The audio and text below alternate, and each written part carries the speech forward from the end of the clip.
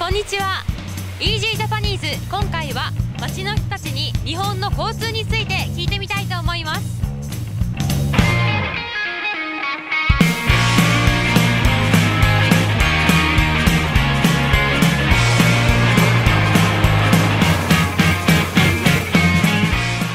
え皆さんはどんな乗り物よく使いますか？通学とか。電車。電車。みんなで電車で。すね、もう通学で電車はいはい。AR かな？電車。バスです。あバス。バス時々乗ります。昨日もバスで帰りました。はい。バスと電車ってどっちが好き？私はバスが好きです。なんで？えっと隣に人乗る時ありますけどなんかこう前が前が壁じゃないですか。だから知らない人と向き合わなくて済むから すごいね気が楽です。バスは割とこう、なんていうの、行きたいところまで行けるって。家の近くからその行きたいところまで近くまで行けるっていう。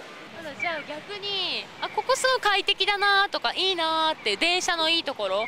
でバス。景色が見れるところ。景色が見れるところ。確かに確かに。時間通りに来てくれるところですか？えー、と時間の目処がつく定時で運行されてるんで何時に着くっていうのはあらかた分かるんでスケジュールが組めますよね。JR は安くていいかな。えトイレがあるとか。いつでもトイレが行ける通勤で。そうですね通勤で使う主に使いますね。何分ぐらいなんですか？通勤時間は。あの時間帯によるんですけれども普通の通勤自体だと30分ぐらいでしょうかね。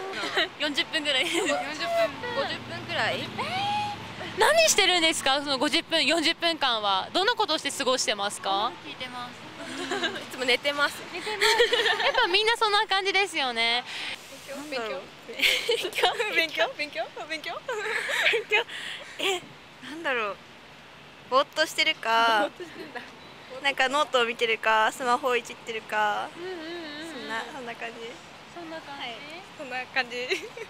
あまあたあのずっと立って待ってる感じですね。はい。大体朝晩も眠いんでそのままぼーっとしてますけども。あとなんだろうね。物申すみたいな。日本の公共機関に物申すとかってあったらそしたらなんか遅れてくるのがあれかな。その雨が降ると。うん。結構遅れてきたりとかするかな。えー、と私都内なんですけど、えー、とすごい混むんでその朝夕のラッシュがねちょっと辛いのはありますけども、はい。お兄さんも朝はもうラッシュですか？いつも。あぎゅうぎゅう詰めですね。はい、ー何分くらいそのぎゅうぎゅう詰め？えー、約40分ぐらいはもうずっとその状況ですね、はい。どんな感じですか？もう電車の中だと思う。えー、もう何も考えられずグーって感じですか？えー、憂鬱な気分になっちゃいますよね。ね。え道路が混むうんはあれですやっぱ道路が混むとやっぱちょっと時間の配分がこうつかめないとか。なんか10分とか普通に遅れるし、まあ、そういう時結構焦りますね。はい。あのやっぱりあのあのじ特にあの雪とか降るときに、まあ、ダイヤってどうしても遅れてしまうので雪降っても通勤時間は変わらないのでその辺うまくこう利用できるようななんか工夫ってできないのかなと思いますね。えなんか帰りとかに広瀬通りとかすっごい混むじゃないですかそうするとなんかもう歩いた方早いんじゃないっていうくらいだから ちょっと、まあ、しょうがないっていうのもありますけど大変だなって思います。なるほど。ちなみにこれは何味のたい焼き？かぼちゃプリン味です。プリンかぼちゃ？あれ？なんだっけ？同じ同じです。これはななんなんだっけ？これは。ひょうたん揚げです。ひょうたん揚げ。なんだっけ？中身が？かまぼこ？美味しいですか、